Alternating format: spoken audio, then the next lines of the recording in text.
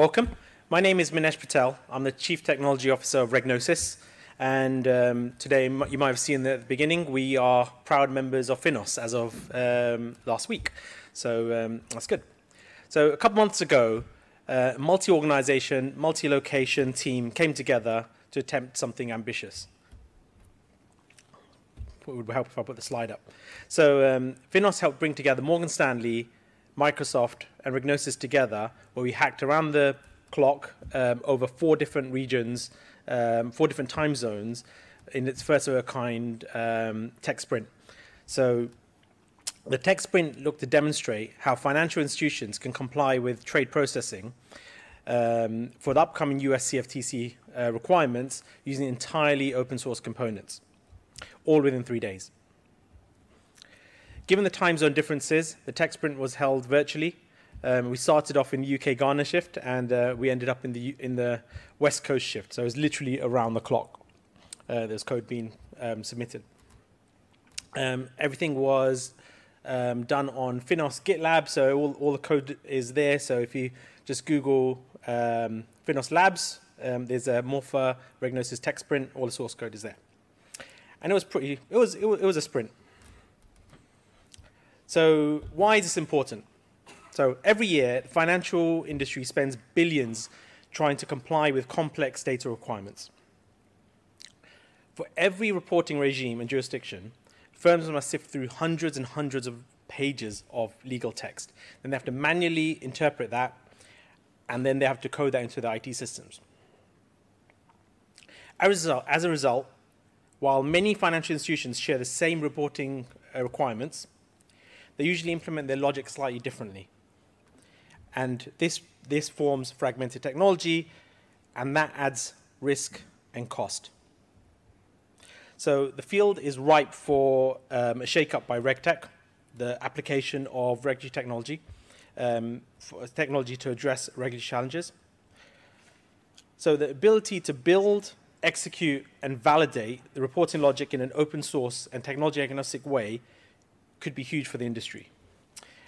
Um, and that's what we achieved as part of this tech sprint. Let's have a look at the components. Right, so the first component is what we call digital regulatory reporting. So the industry is getting better organized at tackling this. Digital regulatory reporting, DRR, is a program that mutualizes, that mutualizes um, the cost and risk of, of this. It's an industry-wide initiative to address the global trade reporting requirements. Currently, there is um, a task force of multiple banks that are working on this right now and they're due to complete um, the US CFTC regulation, which is due by the end of the year. So this is happening. This is live. This is, this is going to be live at the end of the year. And beyond that, it's going to scale to the entire G20. So this program is, is, is geared towards production. It's happening. So um, the DRI involves industry participants working together to deliver an open source functional expression of the rules.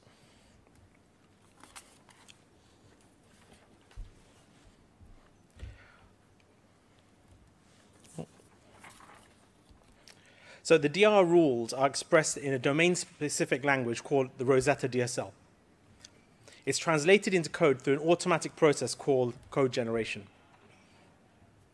What you're seeing on screen right now is the Rosetta platform doing just that. You have some code, and then you can run, run it and then produce some output.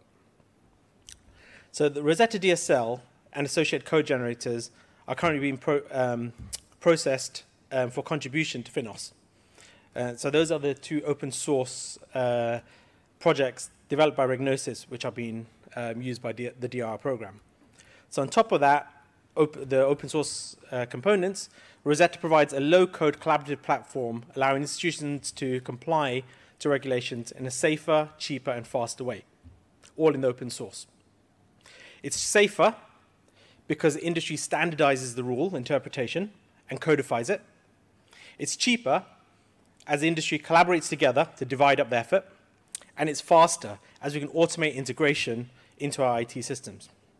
Now, that last point is all about uh, what this tech sprint was about integration into firm system. So we've got the industry together, we're building the rules, and this tech sprint is about how we can integrate this into the um, firm systems using only open source components.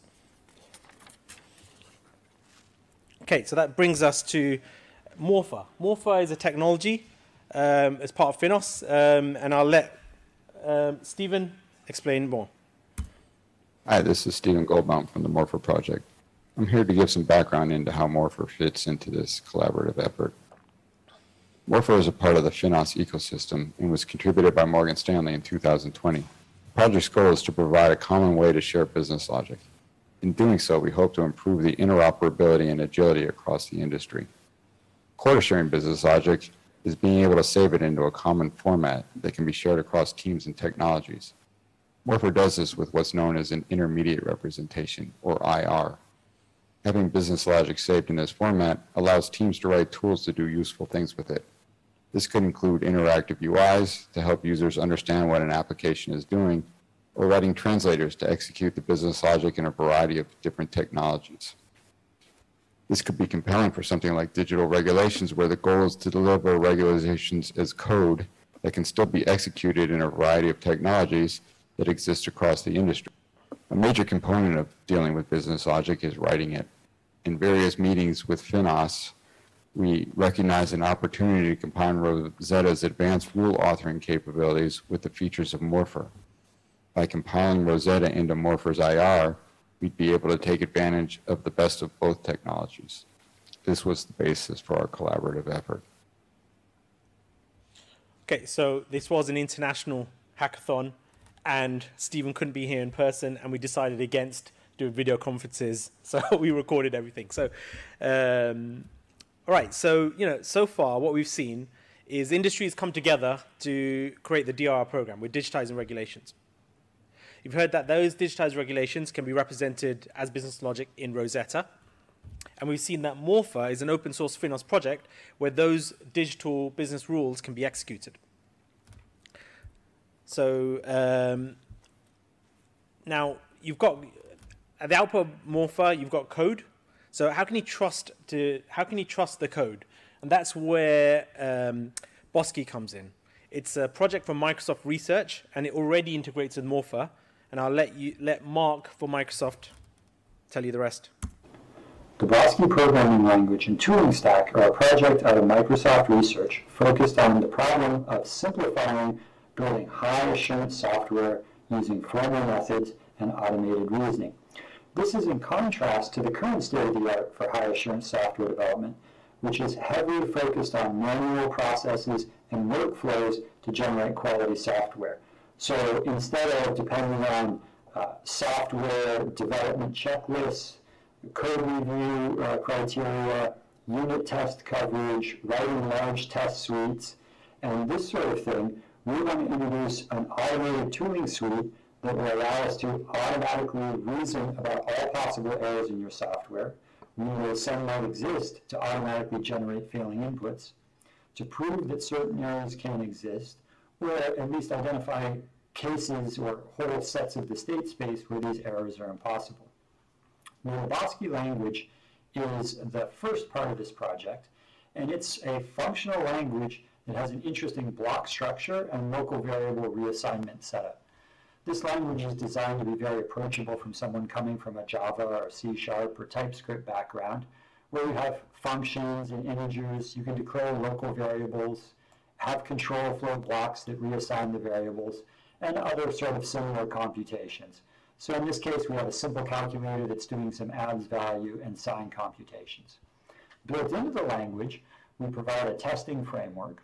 So you can write classic tests like you would write today, uh, unit tests that take no parameters, call a function with a concrete value, and just check that the result um, satisfies uh, the specified property.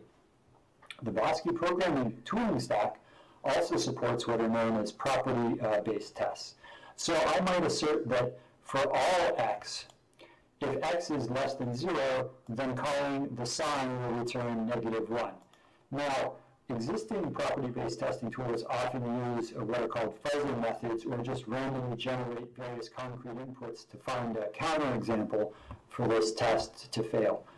Bosque actually supports uh, new uh, extensions to the Z3 symbolic prover that was developed here at Microsoft Research that allow us to prove not only for some set of concrete values or some hand-selected set of inputs that we encode in unit tests, but to prove that for all possible integers, um, this test or this implementation always satisfies the condition specified by this test. Or uh, if it fails, to generate a concrete input. So let's take a look here where we require that if x is greater than 0, the sign is uh, 1. Now, if we go and look at our calc implementation, we see that we actually have a, minor case where the R is equal to 0, that the test we property we specify and the implementation diverge. So let's see how that works by running our testing framework on this set of unit tests. You'll see that it actually can prove that for all of the negative uh, values, there's no possible input that violates the property specified in our test. But for the positive value, it quickly finds the zero uh, candidate value that will cause that assertion to fail and violate our condition. And of course, this works without requiring you to write any unit test beyond just that one symbolic property test.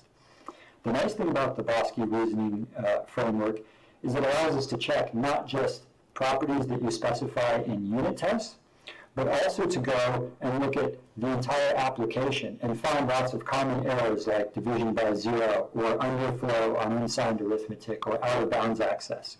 So we can run this checker on the application entirely to find any possible runtime error that would occur. And if we look at our simple application, it checks for three possible errors and it finds that none of them can occur on any input and reports this result as such. So this is a really exciting possibility uh, for us as far as making the construction of high assurance software very simple and very natural for today's developers. But it also turns out that the fintech space is an area where there's a lot of interest in high assurance software and being able to demonstrate uh, concretely why a given piece of software, why we have confidence in a given piece of software. And that's why it was really exciting to work with our partners at Morgan Stanley and REGnosys on this hackathon to hook up some of the financial software that they're building to our checker backend to allow them to take advantage of this machinery that we've built. Okay, so that last part is the most important. It's about checking the software. So what we've seen so far, are the different components. You have digital regulatory reporting, you represent your logic. You have Rosetta, where the logic is digitized. You have uh, Morphir, where that digitized logic is made executable. And then once you have executable logic, you don't actually have to write the Bosque. The Bosque automatically, the testing framework tells you whether it's right or wrong. It shows you all the inputs that you could possibly give that would break it. So now you have trust software that you can trust. Okay, so bringing it all together. So digital regulatory reporting is written using the Rosetta platform. So those two work together. Morphir, being an open source Finos project, already works with Bosque.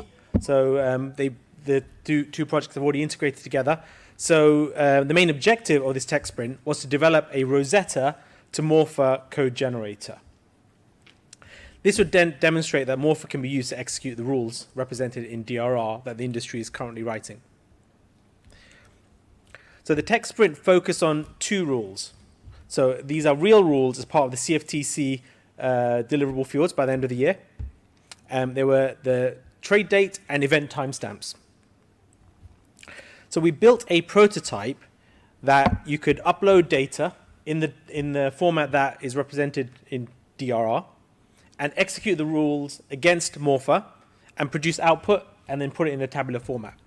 So everything was done automatically. The hard part was writing the Rosetta to Morphir code generator, and once that component was ready, the entire executable platform was generated within seconds. So you know, it was a really good plan. It came together really well. And all of this was done within just a few days. So the prototype proves that the digital regulations that are represented in, in the um, Rosetta DSL as part of the DRR program can be executed with Morphir, and then the code assurance can be run using Bosque. So now all these components fit together, there's another advantage. We can make use of all the integrations that come with, for example, Morphir, because the, it's all in the open source. So Attila now is going to tell us about some of the tools that you can uh, use as part of Morphir. Hi, my name is Attila Mihaly. I'm a co-creator of Morphir, and I'm here to give you a little demonstration of the various tools that we used during this tech sprint.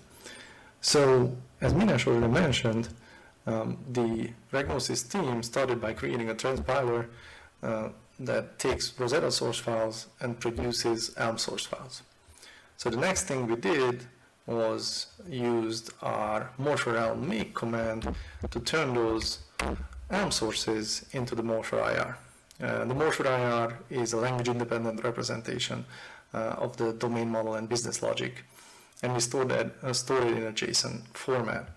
Um, and it's the central integration point for the Morphir platform. All the tools either produce Morphir IR or consume Morphir IR. Um, so at this point, since we have the IR, we could turn that into any execution technology that we support, for example, uh, running in Scala um, or TypeScript.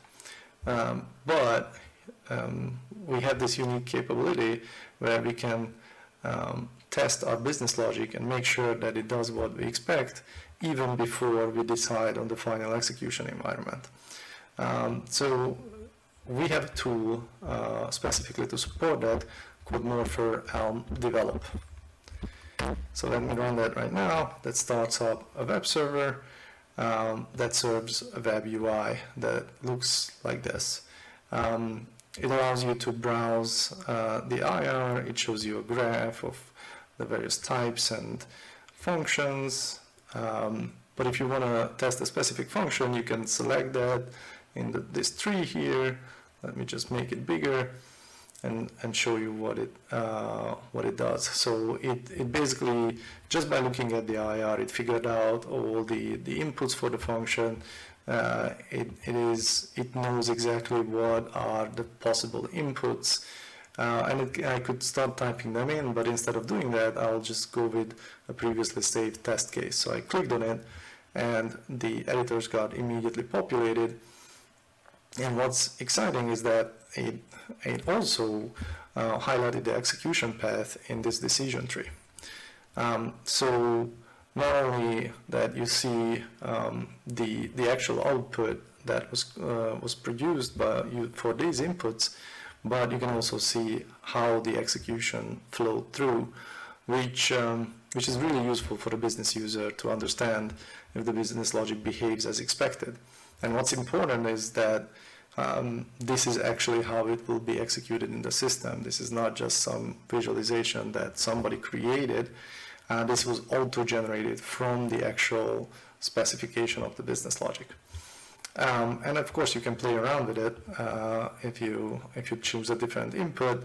Um, you can see if it that that follows the path that is expected, and if it is, then you can save it as a test case, and then build up a whole test suite uh, of various test cases. And then, of course, you can integrate this into your build pipeline as well. So once you're satisfied with the business logic, um, you can actually go back and run one of our backends, code generators. So let me do that right now. So you can see that it generated a bunch of Scala files. It did Scala because uh, our default one is Scala if you don't specify what language you want. Um, and so now you're ready to integrate um, your validated business logic into the system that yeah you want to integrate it with. Um, and that's it. Thank you. Okay, so um, takeaways and next steps. So one of the most most interesting takeaways from TechSprint was its task force format. So I didn't really know a lot of people from the from the hackathon. We came together and within just three days you know, we, we all became friends and we, we collaborated together and produced something that we never thought, uh, well, we, we didn't have at the, at the beginning. So this could serve as a blueprint for Finos um, to serve innovation. So collaboration enabled innovation. The technologies and teams work together and prove that the whole is greater than the sum of the parts. The Rosetta to Morphir code generator delivered during the tech sprint is going to be included in the formal open source contribution to Finos. So this is all going to um, make its way into production code.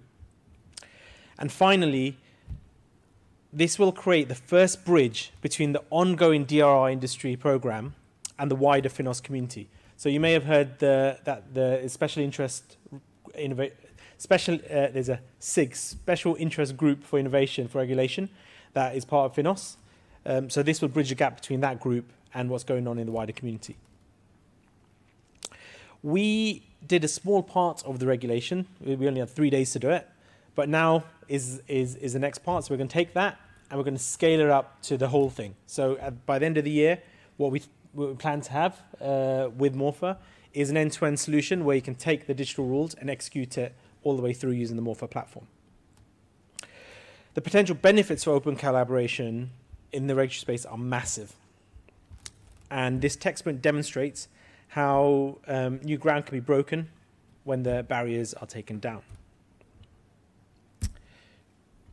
Um, and here's some final words from Mark from Microsoft. This hackathon was a lot of fun for me personally because I got to work with two great companies and teams literally distributed around the world. And we saw this proof of concept come together very quickly that I think did a great job of illustrating the potential value that automated software validation could have in the financial services industry. It also really inspired me to continue working on this core vision of Bosque around high assurance software development, but also illustrated the value of collaborating in open source and the ability to build a community there. And I'd really like to continue to collaborate uh, with the entire fintech industry in that space and hopefully bring some really exciting technology uh, to general availability. Cool. So um, yeah, so that, that's what it was. This this uh, this hackathon, this tech sprint, was building collaboration between three different technologies that had never worked together before and um, producing an end-to-end very quickly and um, making a blueprint so that we can take this, scale it forward, and actually create a full open source solution. Thank you. Any questions?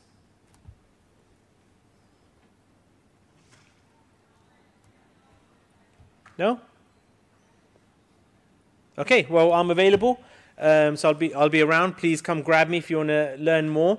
Uh, all the source code that we developed is all on GitHub. Um, it's on Finos Labs, and um, it will shortly be part of Finos, hopefully, fingers crossed, once the contribution goes through. Um, so, yeah, thank you very much. Oh, go on.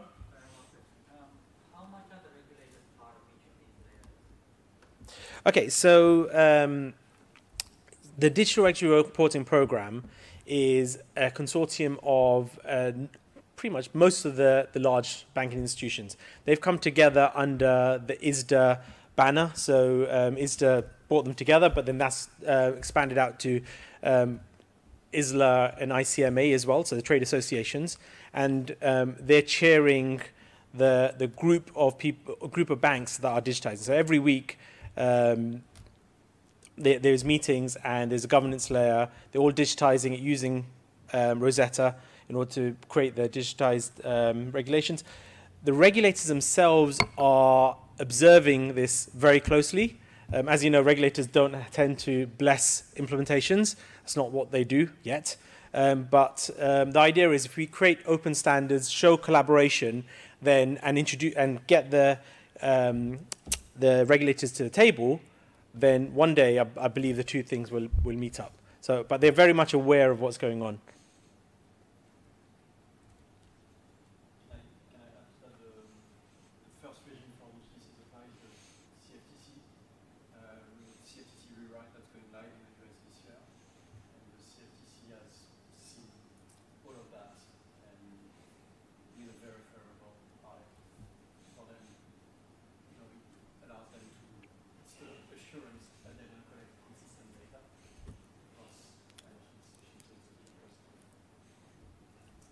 So yeah, we've we've worked with um, a number of regulators, um, and every regulator sees a ton of value in this.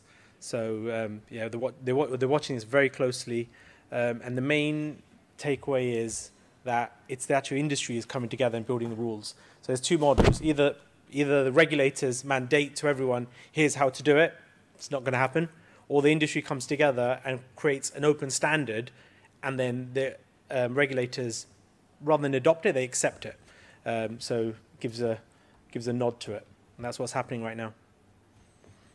And uh, the rules right three minutes. The rules right now are, like I said, um, the CFTC part, um, CFTC regulations are is a new regulation coming online at the end of the year for for the US. Um, that's expanding to the G20. So um, we estimate there's going to be over 100 reports over the next three or four years that are digitized in this manner.